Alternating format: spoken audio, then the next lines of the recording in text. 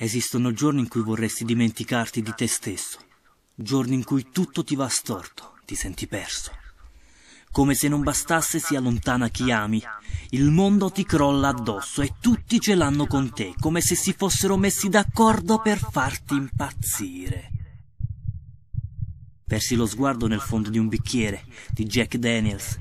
Ti aiuta a dimenticare, vero? O forse no. Questi sono quei giorni in cui vorresti scappare via. Via da qua.